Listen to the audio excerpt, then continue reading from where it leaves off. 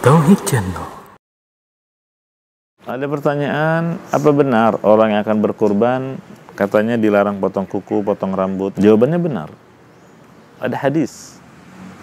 Ya, man kana lahu zibhun yadhbahuhu fa idza uhilla hilalu dzil hijjah fala ya'khudanna min sya'rihi wala min adfarihi syai'an hatta yudhi.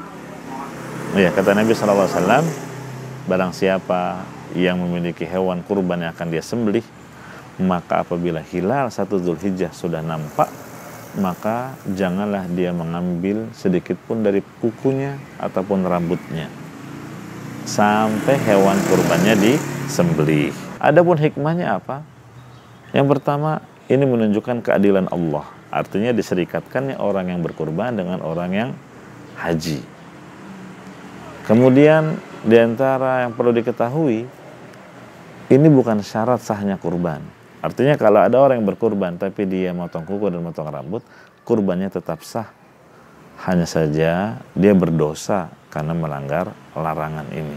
Yang perlu diketahui pula terkait dengan masalah ini, yang berlaku larangan potong rambut, potong kuku hanyalah sahibul kurban, bukan keluarganya juga.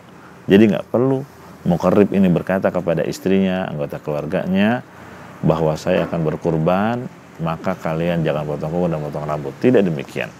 Jadi yang berlaku larangan ini hanya mukarrib, sahibul kurbannya saja bukan pada keluarganya. Demikian, wallahu a'lam. Tauhid Channel.